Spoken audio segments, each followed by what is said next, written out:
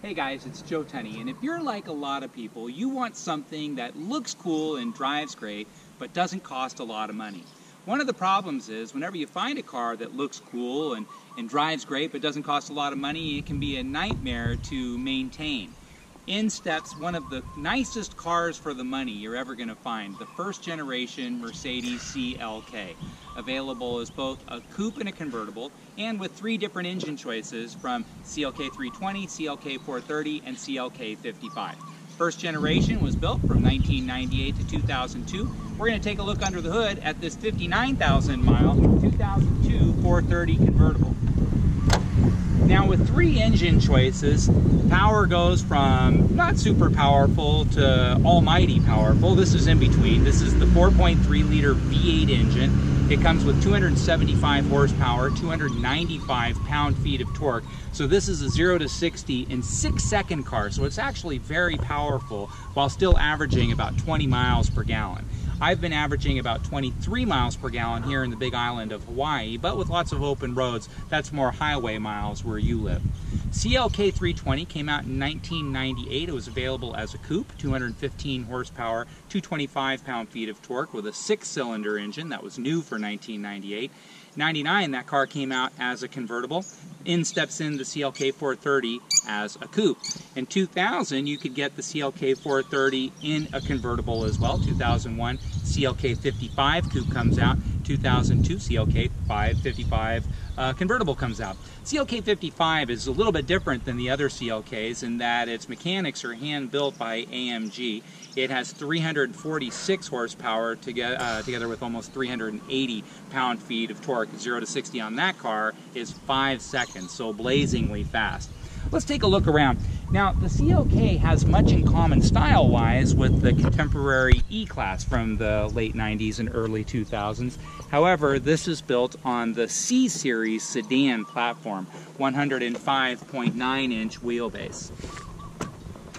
Taking a look around, well, they're really a nice looking car. I really like the CLK 430s because they come with the AMG Sport wheels.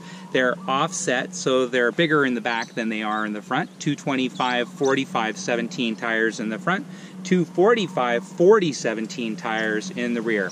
Really spacious. This is a 2002 vehicle that's completely original, and as you can see, even the interior is in like brand new condition. Looks great with that burled walnut trim, which is real wood. If you look in the back, this is a power retractable convertible top and it has an integrated tonneau. And so this is uh, like a speedster that they had in the old days. You'll see old Porsche speedsters and they have the same kind of profile on the rear deck lid. This is standard on the CLK across the product lineup.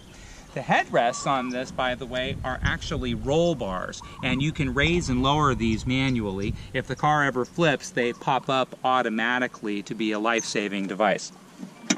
In the trunk, now this is a small car and it's a convertible, so the trunk shouldn't be all that big, and it's actually pretty nice. It's 9.9 cubic feet, which isn't giant by any stretch of the imagination, but if you want to throw in a set of golf clubs or make a quick trip to Costco, you're actually in pretty good shape with this one.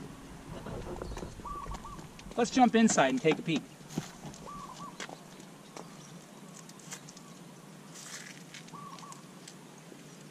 So a lot of great creature comforts. One thing is that the rear speakers are in the front door. So you have, count them, one, two, three speakers in each door. So six speakers in the front with one really nice Bose speaker built into the back rear seat. Rear seat's not all that big, but with the seats in a normal position up front, you can do pretty well with four people, assuming that the people in back aren't all too big. You do have front air airbags and front side airbags as well. The airbags are built into the doors. One thing you don't have is a tilt steering column. You have a telescopic steering column. The steering column goes in and out, but it does not go up and down. But you have a wide variety of up and down features integrated into the seat. In fact, on both sides, you have multifunction power seats.